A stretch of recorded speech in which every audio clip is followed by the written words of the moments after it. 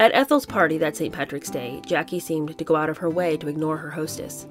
While the gregarious Ethel entertained, the aloof Jackie spent most of the cocktail hour alone, warming herself in front of the blazing living room fireplace. The house was always cold in winter because Bobby wanted to save on heating bills. Jackie wasn't just being aloof, recalled one of the guests. She was taking all the heat to warm herself, and by standing in front of the fireplace, she became the center of attention, which was very typical of Jackie. A few of the guests also noted that Jack was hardly paying attention to Jackie, and vice versa, which seemed odd at a time when the two were believed to be seriously in love and talking marriage. When the butler came into the living room and announced that dinner was being served, there was a sudden commotion in a corner of the room. Suddenly, Bobby retrieved Jackie's fur coat from a closet and put it over her shoulders. Moments later, Ethel and Bobby saw Jackie to the door and she abruptly left. Ethel came back into the house and she was livid. Davy Hackett and Lem Billings were trying hard to lift her spirits, but everyone was stunned by Jackie's performance.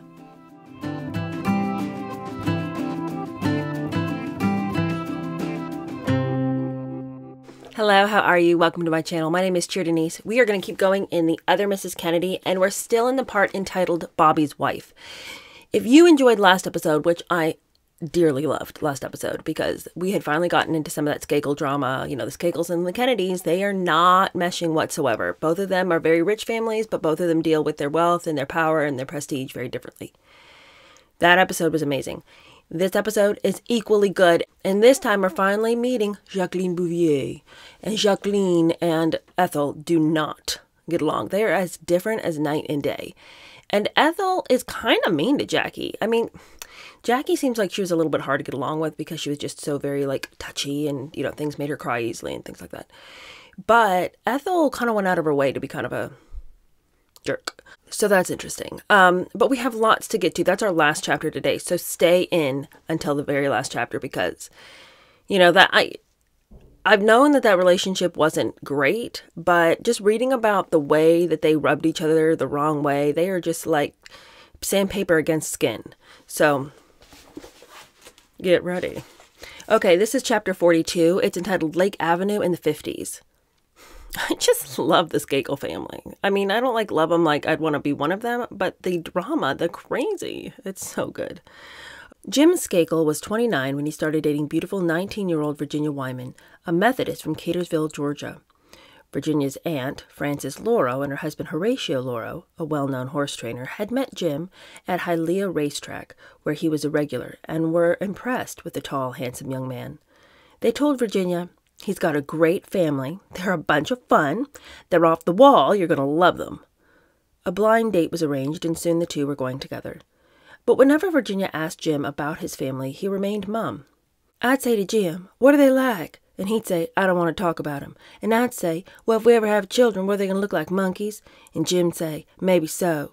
He never once discussed his parents, Great Lakes Carbon, the mansion in Greenwich, or the fact that he had a sister named Ethel who was married to a Kennedy. It's all very odd.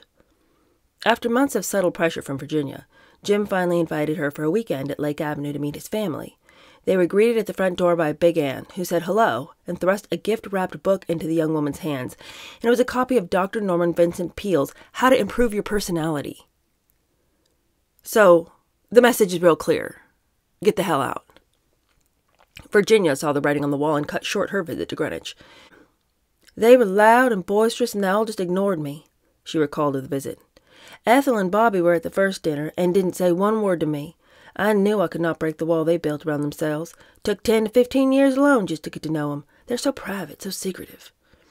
Despite being a problem child, Jim had always remained Big Ann's favorite son, and over the years she had done everything in her power to keep him out of the clutches of the many women who had pursued him. When young women came to the house, Big Ann would instruct them to freshen up in one of the bathrooms, and when they'd come out, she'd make up a story that Jim had to leave. She'd tell Jim the same thing about the girls. Many of Jim's blossoming romances were aborted by Big Ann in that fashion. He was her heart. She didn't ever want to lose him, Virginia said years later. One evening during dinner at the Huntington Hotel in Pasadena, Jimmy showed up a half hour late with his suit and tie messed up and dirty and drunker than a hoot owl, recalled Great Lakes Carbon executive Jay Mayhew. Mrs. Skakel was putting her arms around Jimmy and kissing him and making excuses for him and saying, Oh, Jimmy, darling, what have you been doing? I looked at George and I could tell he was disgusted as hell with Jim, but he just shook his head. Jim was Mrs. Skakel's favorite. I never saw any type of that affection from her toward any of her other children. Despite Jim's behavior, George Skakel felt he was the brightest of his three sons and hoped that one day he would take over the company. On one occasion in the early 1950s, the senior Skakel summoned Great Lakes carbon attorney Tom Hayes into his office, confided that my own son won't talk to me, and instructed the lawyer to get Jim back. Hayes gathered that Jim was angry at his father for devoting all of his time to building Great Lakes Carbon and not enough with him when he was growing up. Hayes met with Jim several times at one of Jim's hangouts, the Ritz Bar in Manhattan. There was some softening, and they eventually talked together, Hayes said later. But Jim would never have much to do with Great Lakes Carbon, at least while his father was alive. Not only had Jim now decided to get married, but he'd chosen a girl who wasn't a Catholic, which drove Big Ann up the wall. In the Skakel family, Virginia observed, there were two things that were important Jesus Christ and the Great Lakes Carbon. Jim and Virginia were married at her grandmother's house in Miami on May 24, 1952. Big Ann and all the Skakels never got off their knees the whole time during the ceremony, recalled Virginia Skakel, laughing about the grotesque affair years later. Mrs. Skakel and I were the only non Catholics there, except for Pat, who remained in Ireland, and Georgeann, who was expecting Alexandria at any moment. All the Skakels attended. Ethel, pregnant, was there without Bobby. At the reception, Big Ann got into an argument with Virginia's aunt. Knowing that the woman had been married three times, Big Ann declared, I will never ask you into my house. I don't condone divorce. Mrs. Luro, shocked by Big Ann's outburst, looked her up and down and said, I doubt I would have come anyway. Remembering that scene years later, Virginia said, My aunt could not believe those people. When the party was over, my grandmother said to me, Jesus, we'll probably see you in a month. You'll be back soon. There were bets on how long Jim and I would last. After their European honeymoon, Jim and Virginia moved into the boyhood home on the third floor of the Lake Avenue house. What's up with all these young people getting married and going back home? Y'all gotta get your own house, please. It's not like there's not enough money around. Y'all all probably have trust funds. And mom and daddy'd buy you a house. Find one, ask them to pay for it, and then move out. Because this business about living under the roof of your mother in law cannot stand. Anyway, a few days later, Big Ann, on her daily inspection of the house. Oh, so she's worried about how the house looks now, is she? Marched into Jim and Virginia's assigned bathroom and stopped dead in her tracks. Virginia Skakel, we have got to talk now. When Big Ann found her cowering daughter in law, she thundered, This is not allowed in my house. I want it out of here. The item in question was a douchebag. The rigid Catholic environment at Lake Avenue persisted in the early 1950s. Big Ann continued to maintain strict rules governing anything of a sexual nature. None of the Skakel girls or any female guest were permitted to wear slacks in the house. Only dresses were sanctioned. Shorts were allowed for athletic activity. Tight bathing suits were banned. At breakfast, the women had to be in dress clothes. No pajamas, robes, or nightgowns were permitted. The Skakels never spoke of it, Virginia said later. Sex sex never existed. It's taboo. Big Ann also demanded that Virginia convert to Catholicism and enrolled her in classes at Ethel's alma mater, Manhattanville. Can you imagine? I mean, Excuse me, lady, I have things to do. You can't just enroll me in classes at Ethel's old college. Are you kidding me? Eventually, Jim and Skakel separated. what a big shock. Uh, and they subsequently divorced. But the two would remarry and have a family, but only after Big Ann had joined her maker. Can you imagine having a mother in law so terribly bad that it ripped up you and your significant other apart?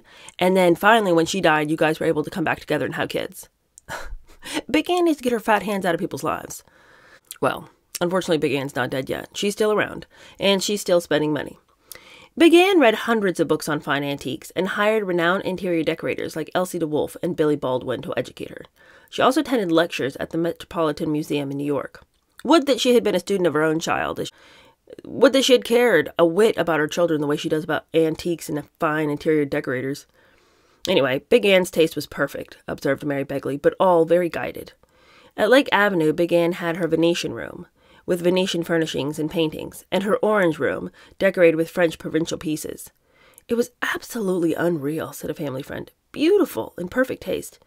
But it wasn't like a museum in spite of it all. She did a remarkable job. In the 1950s, she paid $50,000 for one antique music stand, so she had better have known what she was doing. Ann was also infatuated with decoupage and retained a noted artist of the medium, Mabel Manning, to decorate the grand piano, the dining room table, and Ethel's room, which was maintained intact even though she was long gone. okay, that is a different time. Don't come near my grand piano with decoupage, but okay. It's crazy that she would care this much about the furnishings in her house and then just be so flippant with them. $50,000 for a music stand, one single music stand to complete the look in a certain room. And then she's handing out cans of ginger ale and being like, let's all squirt each other in the face. What is this wild life? I mean, I can't even conceive of that amount of money where I could just be so reckless with it. And I would care because I, I think what I can't piece together is caring this much about the furnishings in my house and then wrecking them.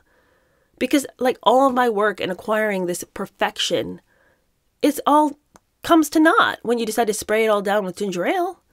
Well, Nothing thrilled Big Ann more than when she could get some bargain prices for these antiques. The book says that Big Ann was thrilled when, through her shrewd bargaining or expert knowledge, she was able to buy a fine antique at a flea market price. Once, on an antiquing expedition through New England, she came upon a shop in Boston whose entire contents she wanted. After dickering over the price with the owners for hours, she finally him down. He agreed to ship it all the following week, cash on delivery. George Skakel Sr. was all too aware of his wife's obsession with antiques. But for the most part, he looked the other way, as he did with her intense Catholicism, viewing both interests as innocent if somewhat annoying.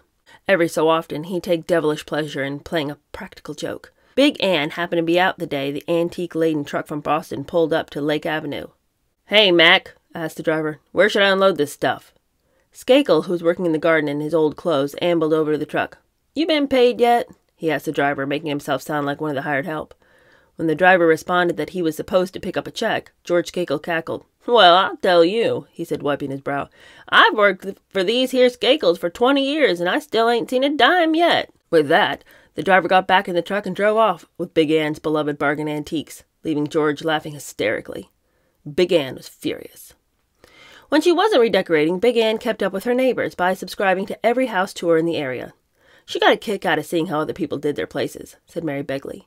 Big Ann's favorite was Rusk Rehabilitation Garden Tour, sponsored by the Gimbel family, who always got the owners of the most spectacular houses in Greenwich to open their doors.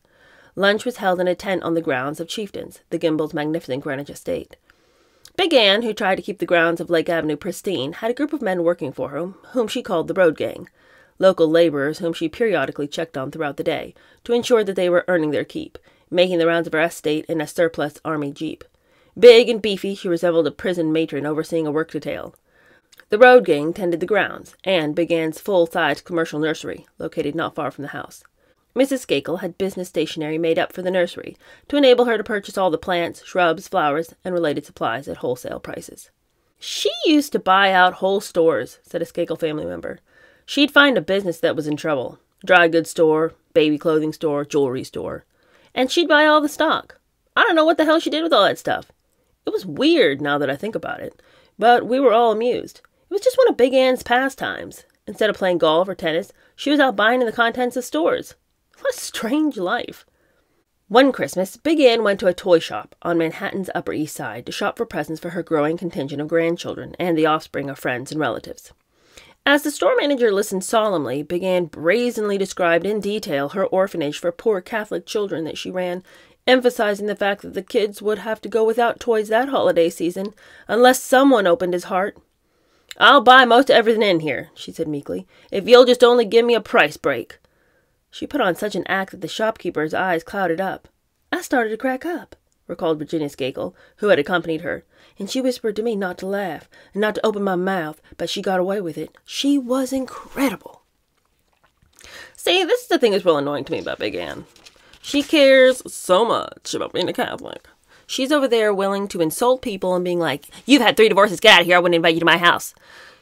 But then she's over here making a practice of lying to people to get discounts. Does that Ten Commandment not apply, Ann? Are you allowed to just lie whenever the spirit moves?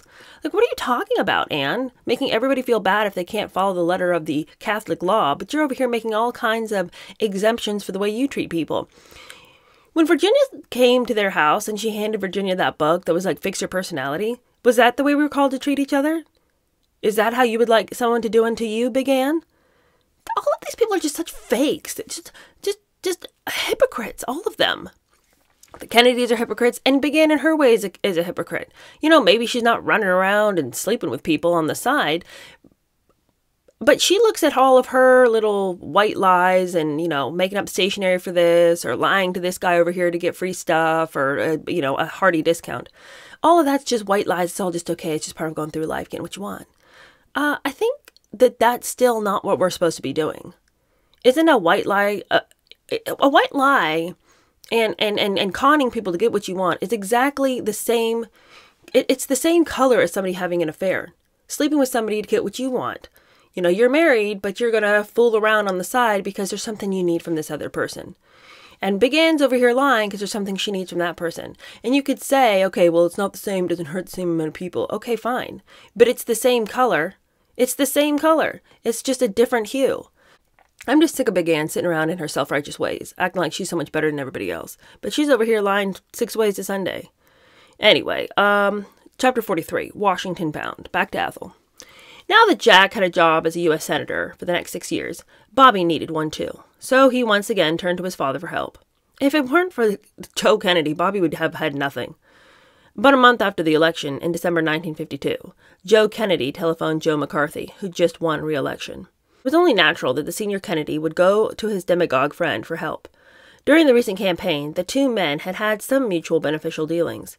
As a longtime supporter of McCarthy's tactics and philosophies, Kennedy had discreetly offered the senator strategy and advice, and quietly contributed a substantial sum to McCarthy's coffers. McCarthy returned the favor by selling his own Republican Party in Massachusetts down the Charles River at Kennedy's behest. Kennedy was well aware that Henry Cabot Lodge Jr. would get an enormous boost from having the immensely popular Irish Catholic McCarthy visit Boston and give Lodge his endorsement. To avoid that, Kennedy offered McCarthy a handsome contribution in exchange for staying out of Beantown. It worked. Now that the Republicans had won the White House and captured the Senate, McCarthy was made chairman of the powerful permanent subcommittee on investigations of the Senate Government Operations Committee, dubbed the McCarthy Committee. Who better to put on the committee's payroll than Bobby, an ambitious young man with a law degree and the influential family name? Also, Bobby and Ethel were fervent supporters of McCarthyism, Joe Kennedy pointed out. Soon the committee would stage Capitol Hill's most disturbing and dramatic spectaculars ever the Army McCarthy hearings. If he got the job, Bobby would have instant fame, be on the front pages every day. At 27, Bobby desperately wanted the post. He also appeared to have a real feel for the sort of thing McCarthy was doing. During the Kennedy Lodge race, for instance, Bobby had ordered the publication of a study purporting that Lodge was, as young Kennedy put it, soft on communism. Bobby also frequently maintained that hunting down suspected red was, quote, an important domestic issue. He was McCarthy's kind of man. But it turned out Joe Kennedy had put in Bobby's bid for the job a bit too late. McCarthy had privately decided to hire another young lawyer who'd recently made quite a reputation for himself for having a brilliant legal mind and a taste for blood. Roy Marcus Cohn, 25, had made his mark as a savvy, hard nosed prosecutor by helping to send convicted spies Julius and Ethel Rosenberg to the electric chair. Now working for the Attorney General in Washington, Cohn, a closeted homosexual and a Jew with anti Semitic leanings, was McCarthy's first choice. The day Joe Kennedy telephoned McCarthy, Roy Cohn happened to be in the senator's office. As Kennedy employed the senator to give Bobby the job, McCarthy handed a note to Cohn. Remind me to check the size of his campaign contribution. I'm not sure it's worth it. Had McCarthy not already made up his mind about Cohn, it might have been a toss up between the two young knights. Both the boyish Kennedy and the darkly sinister Cohn were equally arrogant and ruthless. They also shared the same Democratic Party affiliation, which didn't seem to bother the Republican McCarthy one bit, as long as they played his game. Beyond his fondness for Cohn, McCarthy felt that Bobby lacked experience for the job. At the same time, the senator, coming under intense scrutiny from the media, moderates, and the left, feared that such a Kennedy appointment would look like a political payoff. McCarthy offered an alternative plan. He'd hire Bobby as an assistant to Committee General Counsel Francis D. Flanagan, a former FBI agent. Later, Bobby would move up as he gained experience. The arrangement also allowed Bobby to report directly to McCarthy and not Cohn, whom Bobby already despised. Joe Kennedy telephoned his son and advised him to take the senator's offer. Bobby reluctantly agreed. Luckily, Bobby and Ethel didn't have to live off of his starting salary, $95.25 a week. It's a pittance. How can anybody live off of that? Chapter 44 First Home. Finally, we're only like three kids in at this point, and finally they find themselves a house. Actually, I don't know how many kids they have. I'll have to be reminded. I think the last time we read, they'd had two so far. In January 1953, Ethel, Bobby, and their babies, Kathleen and Joe, moved to Washington. Ethel was delighted. For the first time in their two and a half years of marriage, they'd finally have a permanent home and a life somewhat removed from the influences of Lake Avenue and Hyannisport. Bobby was pleased too, excited about the prospects of independence, making a name for himself, and of forging a close political alliance with his brother, whom he would now see on a daily basis. But in typical Kennedy fashion, he was adamant to Ethel that the rent at their new home be reasonable and that the house be in Georgetown, where Jack lived. Bobby gave Ethel a rent budget of $500 a month, a respectable sum to most people in the early 50s, but peanuts to someone with Ethel's extravagant habits. Ethel still had a difficult time understanding the Kennedys' penny pinching mentality. Still, she knew she'd have to be more prudent if she wanted to keep Rose and Bobby off her back. One of her cutbacks that year was not giving her mother a Christmas present. Mrs. Skakel was in high dudgeon because Ethel had had the gall to tell her she couldn't afford a present, recalled Mary Begley. Big Ann went into a complete rage. I remember her saying, Ethel damned well better give me something. She felt her daughter was getting more like the Kennedys every minute. But it's not Ethel's fault that she can't give her mother a present. These people will tell her. These people, these people will not allow her to spend any money. And yes, I understand. Ethel's over there spending like there's no tomorrow. So I understand why they had to put some kind of rein on the spending. I mean, you're not going to stay rich if you spend like that. But at the same time, is Ethel to be blamed for the fact that she doesn't she's not given the pocket money in order to buy her mother a present? How in the world can Mrs. Skakel be so mad? Mrs. Skakel could buy herself anything she wanted. She doesn't need Ethel's Christmas present. Can't she at least sympathize with the fact that her daughter is now, you know, in a different environment? Seems to me, if I were Big Ann, and spending was like my favorite thing in the world. All I'd have is compassion for my daughter who no, could no longer spend that way. And I wouldn't rain down hate on her head because she couldn't buy me a present. In my mind, I'd be like, oh my goodness, you have really come on hard times if you can't even afford to get your poor mother a present. Anyway, at first, Bobby, Ethel, and the kids moved into a residential hotel while Ethel house hunted she finally found one of the few detached houses in Georgetown, a charming, furnished four bedroom on S Street, footsteps from the entrance to the majestic grounds of Dumbarton Oaks. She charmed the owner into dropping his rent, which brought the monthly payment in line with Bobby's budget. Ethel was ecstatic. She finally had her own home. But there were times during that period when she was filled with self doubt. Was she bright and savvy enough to handle the political life? At one point, she sought her brother Jim's counsel. He was not one to mince words. You're married to a Democrat, so behave like a Democrat, he told her. Whatever your husband says, that's it. You're not there to think. Jim Skakel felt that by marrying Bobby, Ethel had taken the Kennedy loyalty oath, and that was it.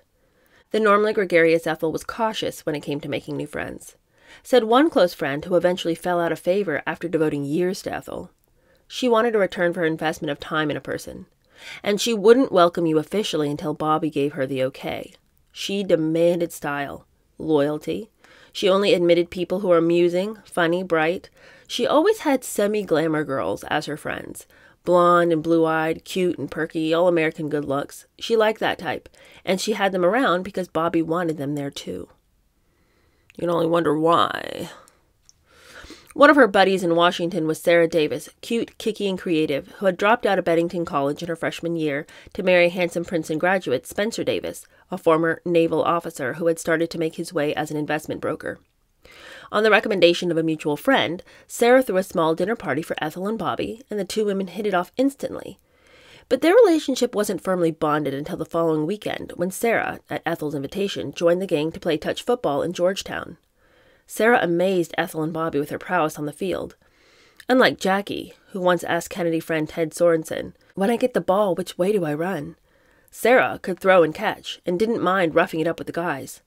Ethel and Sarah's friendship was finally cemented when Sarah got a Charlie horse in one of her legs but continued to play, showing the kind of spunk that Bobby and his family appreciated and expected. The two young women became virtually inseparable, lunching and shopping together and talking on the phone for hours. Because of Sarah's flair for fashion and design, she became a valuable asset to Ethel, who constantly consulted her. They were like ham and eggs, said a mutual friend. But by the early 1970s, Ethel and Sarah's relationship came to an end. Later, Davis told a confidant, My friendship with Ethel was a painful part of my life, and I don't even want to think about it. What does that mean? More than a few of Ethel's friends would fall by the wayside as Ethel's power grew and her tastes changed. The path to Ethel's door would eventually be littered with the victims of her quirky and erratic personality and Bobby's controlling influence. During those early days in Washington, Ethel's ebullience and euphoria manifested themselves in a determination to live as grandly as she could within the financial constraints that Bobby and Rose were forever mandating. Inevitably, Ethel violated the limits almost as soon as they were placed on her. She immediately hired a staff of servants who wore a different colored uniform each day of the week. Ethel also became a familiar face at the many antique shops in Georgetown, and the antique shows, such as the one at the Shoreham Hotel, where dealers remembered her spending freely. Like her mother, Ethel had developed a passion for antiques and became an expert at bargaining. But see, this is the thing, Ethel. You just bought a fully furnished house. What are you doing with all these antiques? And you know, my patience for Ethel and her spending, I'm, you know, I've, I've eaten up all that patience that I have. I understand at the beginning that it would have been hard to curb but you've had two and a half years now of your husband and your mother in law barking at you about your spending habits. At what point are you, out of self preservation, going to go, I think I better stop spending like this? You don't have that money anymore, it's not available to you. It must not be because the family's freaking out about her spending. It, it doesn't seem like her family is giving her this, you know, lifeline of spending. However, you know, if your husband can't take care of you in the way that you're accustomed, we'll just hand you the cash you want. That doesn't seem to be what's happening here because Bobby keeps saying, You're spending all my money. You're spending all my money. So does he, like, I don't understand. I don't understand the way the finances are working here. Is it that she is receiving money from her family, but because they're married, he, you know, looks at that as their money, not her money, and so he doesn't want them, you know, to lose all this money that her family's shoveling her way? Or has her family been like, "You're married now; he takes care of things"? I feel like that's the way it is. Um, just based on other things we've read, it doesn't seem like she's got some kind of trust fund or some kind of money in a bank account somewhere that she's allowed to spend that's from her family. I don't know. But see, it's like, how can you just sort of spit in your husband's face like this? He's already said we don't have the money. But then you're over here hiring a bunch of staff, servants, and they all have these different outfits that they're wearing every day. Like, how big is your house that you need servants in it? You know, it's just a. If you have 500 a month, even in 1950s, your house can't be that big that you would need a staff of servants. So, what are you just tripping all over the servants and the kids and the toys and the dog and all this? I mean, it's just like, get these people out of here. There's not enough room for everybody. Anyway, she's over here just spending, spending, spending. And uh, the book says Ethel had what I'd call wasp good taste, said a friend. She never really cared about antiques. She wasn't that intellectual. But she had this incredible ability to pick up just a smatter of knowledge here and there, and then make you think she was an expert. Ethel was always alert for an interesting find. While getting her hair done at Elizabeth Arden's, she fell in love with a French antique bench with pink brocade that was a part of her furnishings, and she decided that she had to have it. Ethel befriended the decorator, Catherine Boots Treat, emphasizing that she was a Kennedy, and got the bench. As time passed, Ethel would often use the Kennedy name with merchants and vendors to get things at wholesale, at cost, or even for free. In New York, she'd make the rounds of her favorite antique and interior decorating shops. The bills would come in, and Bobby would be livid. At Jansen, for example, Ethel was late in paying for thousands of dollars of merchandise. Among Sarah Davis's talents was painting, and Ethel had commandeered one or two of her friends' canvases to hang on her walls. After a couple of years, Sarah, who was not in the Kennedys' financial league, sent a modest bill to Ethel for her works. But when Bobby came across the invoice, he hit the ceiling. What do we owe Sarah Davis $250 for? he demanded. When Ethel quietly explained that it was for the wonderful picture that he'd always admired that hung in the dining room, Bobby smirked. Sarah never got paid, said a mutual pal. Ethel never fought Bobby over such matters, even if it meant hurting a friend. A friend of Ethel's was a real estate agent and had heard of a property that she thought Ethel and Bobby might be interested in buying. The friend mentioned the house to Ethel, but instead of going through Ethel's chum, Bobby called the sellers on his own in hopes of avoiding paying the agent's commission. When the friend complained to Ethel, Bobby got on the phone. He really let her have it, recalled the principal. Bobby yelled, This whole time, you've only been after us for our money. The friend was so upset that when Bobby hung up, she ran to her room in tears. Ethel loved simple, elegant, expensive sportswear that showed off her slim, athletic figure. When she couldn't find what she wanted in Washington, in those days there was only a few interesting specialty shops, she'd zip up to New York with one of her pals. At Bergdorf's, Ethel hit the shoe department like the Marines at Guadalcanal, buying expensive Delman shoes in every color, recalled one of her shopping companions. She'd buy five of everything, ten of everything. Ethel was very acquisitive, and she'd get hell from Bobby for it. He couldn't understand why she had to have six of something. Bobby began asking Ethel's friends, Do you spend like she does? How do you manage? Finally frustrated, he ordered Ethel to have all the bills sent directly to the park agency, the Kennedy family business office at 230 Park Avenue. While Rose was critical of Ethel's spending habits generally, she thoroughly supported her daughter in law's desire to look attractive. In fact, it was Rose herself who told Ethel that Joe always liked women in good looking clothes, and that he complimented her when she wore a particularly stunning dress. She advised Ethel to do the same, leaving it understood that all the Kennedy men were notorious womanizers like their father, and that the Kennedy women should do everything in their power to make themselves alluring to their husbands. Now, here comes the last chapter, the one I told you about at the top of the hour Ethel and Jackie. Yes, yes. That other Kennedy wife who's dealing with the womanizing of her Kennedy man. Let's see how they get along, and it's not well. Not long after settling into her new home, Ethel began throwing dinner parties, attempting to establish a reputation as a popular hostess. Ethel's first Washington soiree, taking place not long after she and Bobby moved to Georgetown, was in honor of St. Patrick, except that Ethel's curious telephone invitation instructed the female guest to wear black, not green. Jack had asked Ethel to invite the new woman in his life, Jacqueline Bouvier, whom the junior senator from Massachusetts had recently taken to Ike's inaugural ball.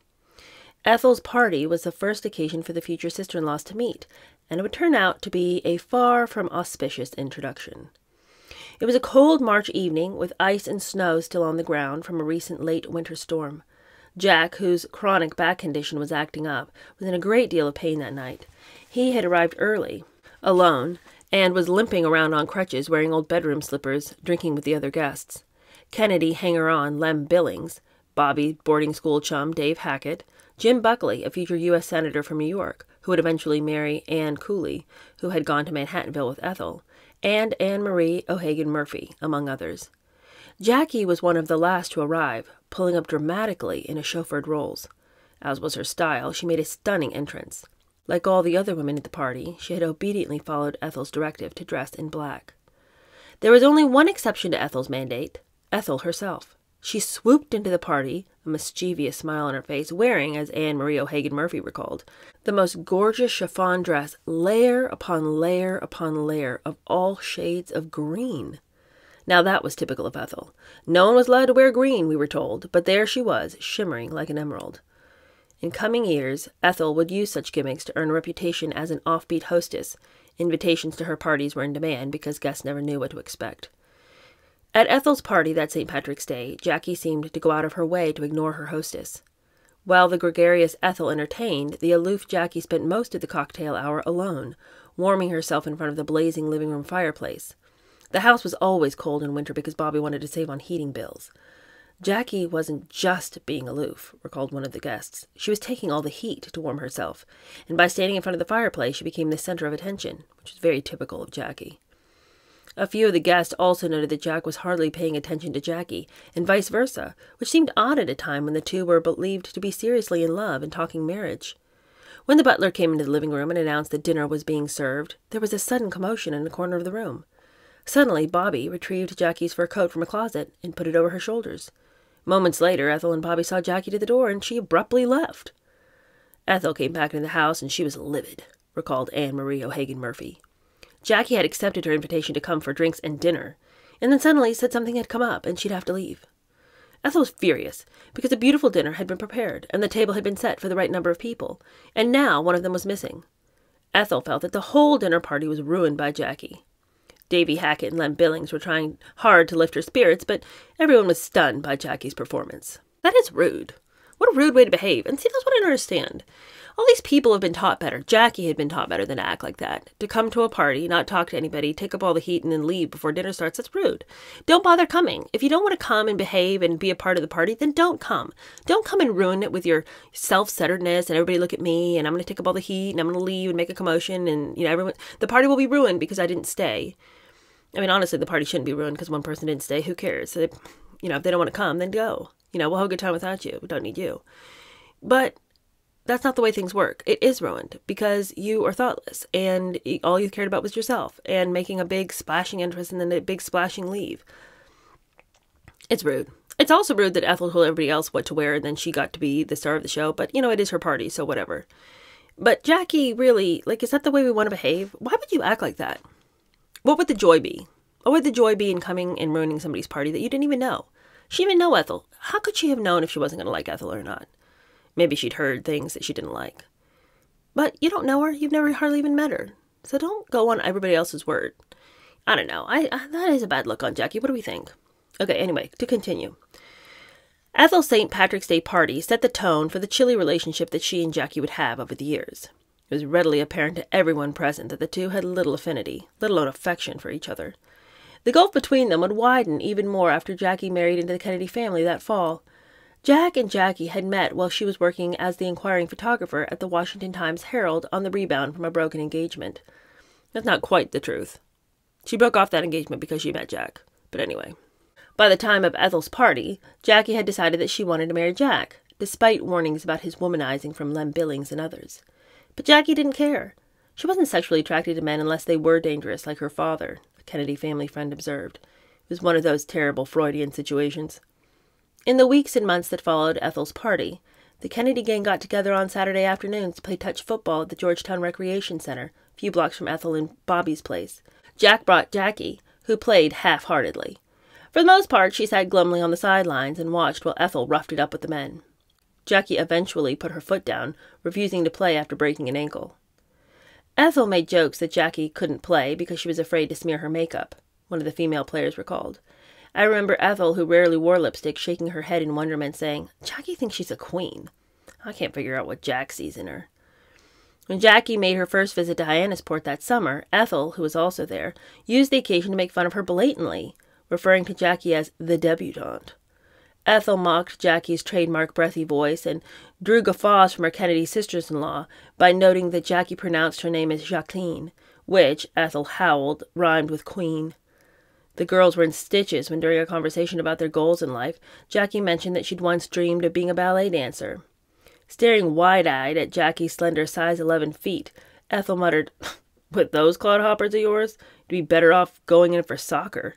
On another occasion, Ethel commented to Jean about Jackie. I don't think she has blood in her veins. See, so, you know, Jackie might have been cold as a fish. But Ethel's kind of annoying. You know, it's like if Jackie's different from you, okay, whatever. Then you can be the shining star on the touch football field. You don't need Jackie here, you know? But she's just pointing out all of Jackie's faults because she wants to improve her own standing in the Kennedy family like, oh yeah, well, Jackie might be so glamorous. He goes, might think Jackie's so glamorous, but who's willing to be out there playing? You know, Jack, stupid Jackie over there worried about smearing makeup. Nothing but a queen, nothing but a debutante. She's the worst. Not, not a good look, Ethel. Just be you, do you. Don't worry. You guys can be completely separate and you can be the queens of your own domains. But you don't need to care if she's not like you, and you don't need to care if you're not like her. Just be you. Anyway, for her part, Jackie considered Jack's sisters and Ethel to be crude and boorish. I'm not going to be what they want me to be, she later told a friend. I won't cut my hair. I won't have 25 kids. She would later refer to Ethel as a baby making machine, wind her up, and she becomes pregnant. Jackie later confided her dislike of Ethel to her friend Truman Capote, who wasn't fond of her himself. Ethel Kennedy has the mindset of a vulture, Capote once declared. She's the most highly competitive and insanely jealous human being I've ever met. Jackie would give a party, and a week later Ethel felt obligated to throw a shindig. She's obsessed by Jackie. Anything Jackie did, she could do better. To Ethel, Jackie was an alien from another planet. But in many ways, the two women were very much alike rich, spoiled, and, as time would prove, ill starred. Jackie was born on July 28, 1929, 15 months after Ethel, in Southampton, a wealthy resort town, a zigzag across Long Island Sound from Greenwich. Her mother, vivacious, social climbing Janet Lee Bouvier, was the daughter of another self made millionaire in the mold of George Skakel and Joe Kennedy. Jackie's stockbroker father, John Vernou Jack Black Bouvier, was a handsome rogue of 38, 16 years his wife's senior when he married her. Unlike the sexually naive and religiously repressed Ethel, the precocious Jackie enjoyed shocking her friends with stories about her father's sexual exploits. Unlike Ethel, Jackie was a child of divorce. Her mother had left Bouvier to marry another wealthy man. To Ethel, divorce was anathema. And while Ethel, the virgin, was still being properly courted by Bobby, Jackie had already spent a year alone in Paris and been dubbed Queen Deb of the Year by New York columnist Charlie Knickerbocker and won Vogue's sought after Prix de Paris. Ethel and Jackie could never be friends, one family member observed. Never. And a month after her St. Patrick's Day party, Ethel became pregnant for the third time. The following month, Jack asked for Jackie's hand in marriage, but the details were tabled until the Saturday Evening Post published a story about the Senate's gay young bachelor. Once the magazine hit the stands, the wedding plans became public. The wedding, with some 800 guests present at the church and 1,200 at the reception, was held on September 12, 1953, with Bobby as best man and Ethel as one of the bridesmaids. The ceremony was presided over by then Archbishop Cushing, who read a special blessing from the Pope. That night, Jack and Jackie went into New York, spending their wedding night in the Waldorf Astoria's honeymoon suite before flying off for a Mexican honeymoon. On their return, they rented a two bedroom house in Georgetown, within walking distance of Ethel and Bobby's. Jack's choice of location, not Jackie's. To keep peace, though, Jackie accepted a loan of drapes and slipcovers from Ethel, even though the two women had completely different tastes. Jackie, said a relative, felt Ethel had no class, no finishing. By the time Jack and Jackie had bought their first home near 33rd and N Streets, about a block from Bobby and Ethel's recent O Street rental, Ethel had come to admire Jackie's skills as the first lady of the household, describing her sister in law's place as heaven and so supremely well organized. I always get depressed coming back to my madhouse. Ethel wasn't exaggerating. As Skakel family friend Mary Begley observed, if you walked into one Skakel house, you would walk into all of them. Servants running around, no meals on the table, crazy, undisciplined. Ethel's house may have been a little grander, a few more servants, but it was all about the same. Jackie devilishly documented on canvas what she saw as her sister in law's disorganization. Her painting showed children running wild, servants coming and going, and the house in a general state of disarray.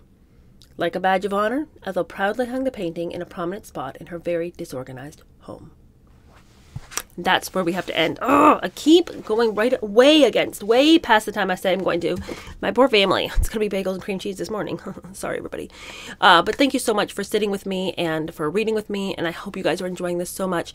If you were one of the people who recommended this book to me, will you come say hi to me in the comments? Because I really want to give you so much thanks. I know that I talked to at least one person in the comments when they said, "Oh, you know, you should read this book," and I was like, "Thanks, I I'll look it up." Thank you so so very much. So please say hey to me in the comments so I can give you a real thanks for bringing this book to our attention. I am loving it. Okay, see you guys later. Bye.